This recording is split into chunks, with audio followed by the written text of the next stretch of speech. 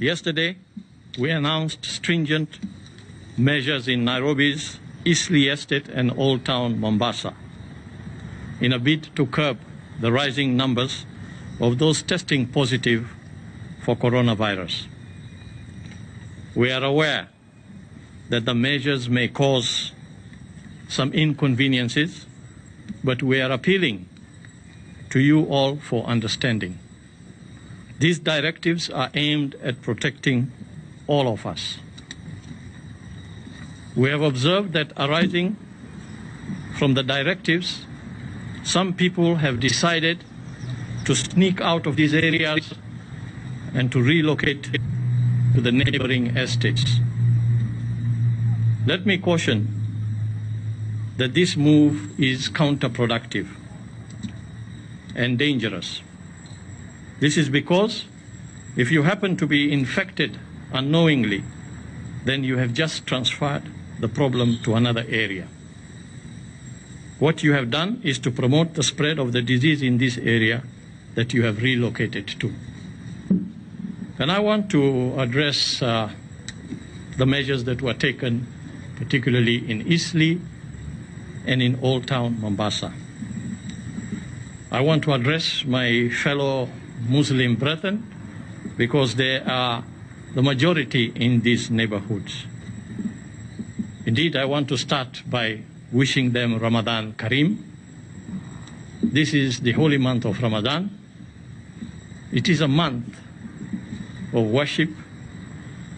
And generally, when things are normal, it is a month that brings people together.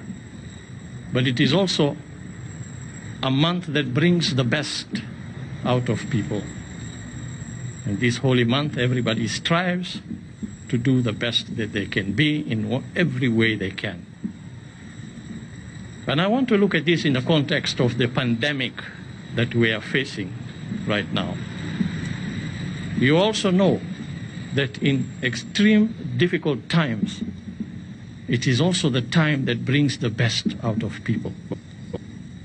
So we have an opportunity here to bring the best out of ourselves on those two fronts of the religion as well as the pandemic itself that faces us. And I want to narrate the hadith about Prophet Muhammad, peace be upon him, who said, If you hear that there is plague in a land, do not enter it. And if you are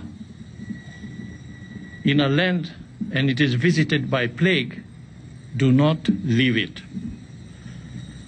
That is a, a, real hadith that is there.